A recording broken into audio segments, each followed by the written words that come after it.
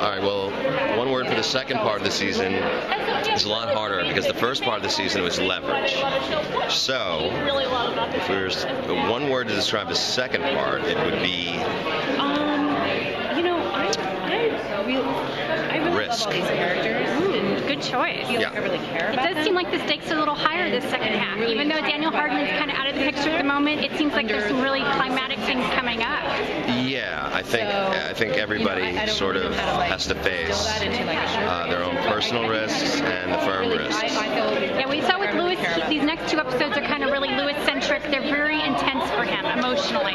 What was that like for you just to kind of step into your shoes and do those kind of intense scenes? Yes, exclamation. um, Yes. the best like reward you can have as an actor because it's so challenging.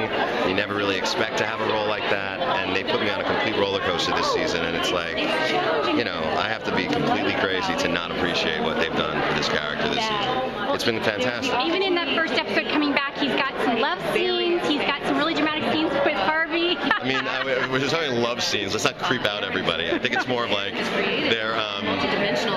It's uh, it's there's a lot of there's a lot of there's a lot of smack talk between him and, and this woman that he's bringing duct tape, coconut oil, and a ski mask to, to me. Let's just leave it at Well, that. it's an emotionally rich and charged kind of situation for him. He's on the verge of possibly stepping out, and that might just kind of leave things up in the air for him as far as whether he comes back into the fold or not. That is right. That is true.